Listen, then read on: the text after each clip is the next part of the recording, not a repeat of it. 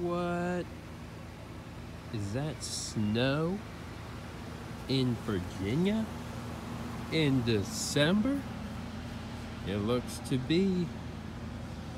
It is currently December the 8th or the 7th, I forget. It is a Monday. And these guys are doing great in the snow.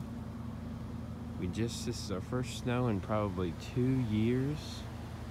And it doesn't really bother the palms at all, to be honest with you. As you can see, the closer it gets to the house, the less snow there is on them.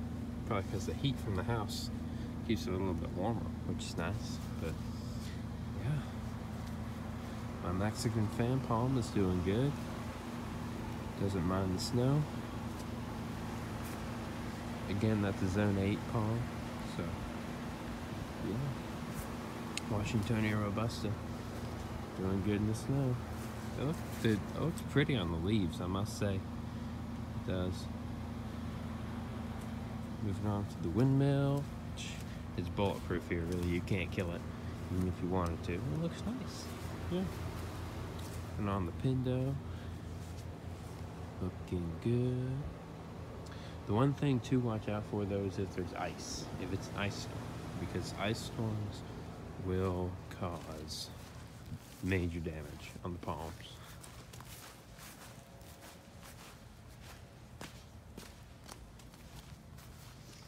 Little sago there.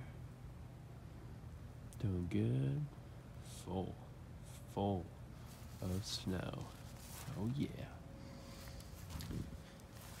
Pineapple. In the snow, not looking too good. Well, check this out. Papayas still alive. What is going on? this Mexic this Mexican fan palm is looking gorgeous. In the snow here. Snow is rare around here accumulations are even rarer at that. So yeah, it's about 30, it's low 30s right now. Maybe just around freezing and these guys are doing just fine. So yeah. If you have any questions or comments, here's my Livistona.